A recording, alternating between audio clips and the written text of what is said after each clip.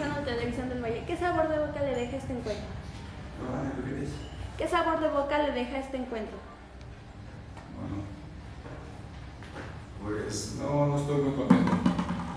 No estoy muy contento porque creamos muchas ocasiones claras de gol y la cantidad de goles anotados no son las que en realidad se merecían.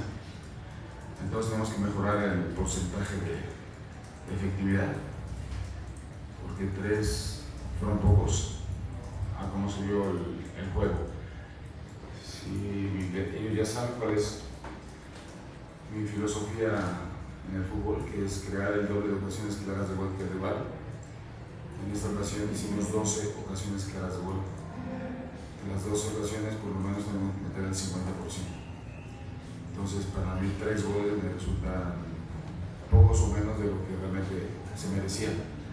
Así que muy contento no estoy. Estoy, eh, estoy contento por los tres puntos y la situación del punto extra que se nos da según el reglamento. Eh, haber anotado más goles que en este caso la, la Y, y, bueno, vamos más, es lo importante.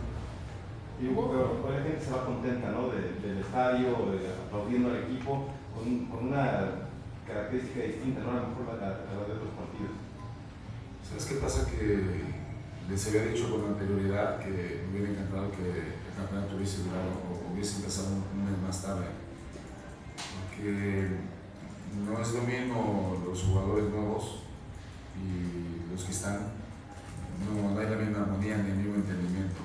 Entonces, ahora quieras o no, según se vayan dando los partidos, iremos mejorando en cuanto a juego, en cuanto a entendimiento y en cuanto a, entender el concepto de lo que es el estilo que, pretendemos desarrollar. ¿no? Y, bueno, por lo menos eh, en este partido hicimos cosas de las que estamos entrenando y que están saliendo bien. Hubo ya un poco de menos de presión después de que en tu cuarto partido de forma oficial ya se llevan la victoria. Realmente lo que importa, mira, no, estamos empezando, toda, ya lo dije en el partido anterior, esto apenas está empezando.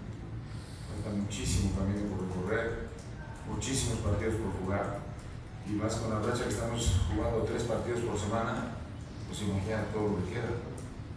Así que seguimos con la misma idea de, trabajar el doble, ganando lo mismo, y los otros siguen ganando el doble trabajando bien. Hugo, ¿qué te pareció el desempeño de Félix Borja está para considerar este sábado? Bueno, creo que él hasta el entrenamos hizo la pretemporada con, con el equipo, no con el nuestro, sino que estaba con el de sub-20 y él estaba en forma, únicamente que dadas las circunstancias y después de recorrer por medio mundo buscando ese delantero que nos estaba haciendo falta, pues, de tantas vueltas, tantas vueltas, pero lo teníamos en casa. Entonces ya fue cuando, hablando con Jesús y con Andrés, eh, pensamos que persona idónea Félix Borja, porque él no iba a necesitar adaptación al fútbol mexicano, porque ya lo conoce. Y bueno, pues, ahora en este partido pues, quería, quería verlo, ver en, en qué forma estaba y, y, bueno, físicamente creo que vuelto bastante bien, aunque al final es lógico que después de 90 minutos, casi 90 minutos, pues se cae el brazo un poco, ¿no? Pero es normal y bueno, afortunadamente el reporte médico me hace ver que si no hay nadie con problemas de lesión, pues puede contar con los jugadores que participaron en este partido, pues puede contar con ellos el sábado. Ese reporte médico precisamente, ¿ya podrás contar con Segundo Castillo y con Eric Castillo para el juego ante Querétaro? Neri, entrenó también ayer un poco y afortunadamente va en buen proceso. Y si todo marcha bien en estos días previo al viaje para, el partido del sábado, indudablemente que, lo tomaré en cuenta. Así que si están sanos, pues me va a dar mucha alegría que estén sanos todos y así ya llevar a lo que creemos más conveniente para buscar ganar los tres puntos. En el aspecto anímico, ¿qué tanto eh, le ayuda esto a toda la familia Cruz? Hablo de jugadores, aficionados. ¿Este triunfo eh, le ayuda en el aspecto anímico Pachuca? Yo creo que eh, comprensión. Yo creo que tiene que haber comprensión, tiene que haber eh, algo de paciencia en el, el equipo, el club lleva tres años sin conseguir cosas importantes. Entonces, si se ha tenido paciencia en tres años, pues en tres partidos debe haber mucho más. Y creo que poco a poco iremos mostrando una mejor imagen en cuanto a juego se refiere.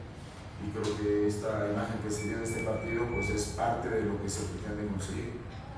Aparte de jugar bien, pues lo que se quiere es crear muchas ocasiones de gol, más que el rival, si puede ser el doble para garantizar el triunfo. Y luego, pues que sea un fútbol espectacular, con ocasiones claras de gol, pero también con efectividad para que acompañe, para que acompañe el, buen juego, el buen juego. Y eso es lo que, Borja, ¿estás, conforme, estás contento con las características de futbolista que tiene Félix? Sí, porque necesitaba un delantero que, que vaya bien por arriba, que cubra bien el balón, que pese en el área. Y en cambio Raúl Tamudo tiene otras características. Entonces yo estaba buscando el complemento.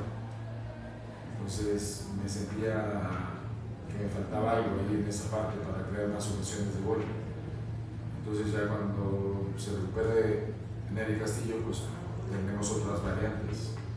Así que dependiendo del rival y dependiendo de las circunstancias con las que nos encontremos, pues utilizaremos tanto juegos por bandas y centros y remates con el apoyo del remate aéreo de, de Félix Borja, como también cuando podamos jugar por dentro con paredes, con velocidad y con jugadas individuales, como es el caso de Mauro, de Miguel, del mismo Neri.